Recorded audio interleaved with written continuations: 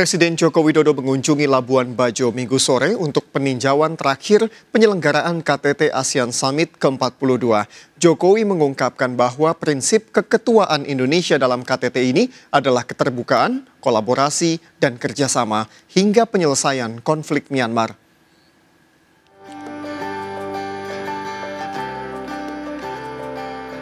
Presiden Joko Widodo minggu sore tiba di Labuan Bajo guna memantau persiapan terakhir KTT ASEAN ke-42.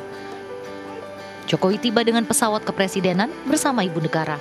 Dalam kehadirannya, Jokowi didampingi oleh Menteri PUPR Basuki Hadi Mulyono, Menteri Perhubungan Budi Karya, Menteri Luar Negeri Retno Marsudi, hingga tokoh pemerintah setempat.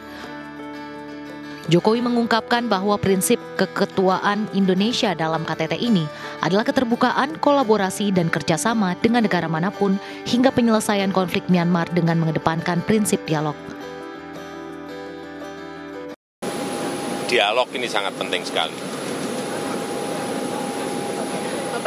Utamanya di dalam masalah Myanmar. Itu akan dibahas juga nanti Pak dalam Iya, iya, secara khusus akan dibahas. Tapi acuan kita tetap untuk Myanmar.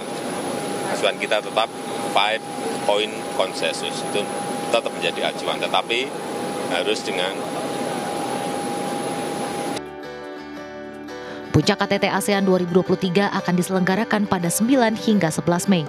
Jokowi juga menyebut agenda internasional ini menjadi momentum agar Labuan Bajo bisa dikenal lebih luas di mata dunia. Dari Labuan Bajo, Nusa Tenggara Timur, Kiselia Nurrahma, Ade Firmansyah, iNews melaporkan.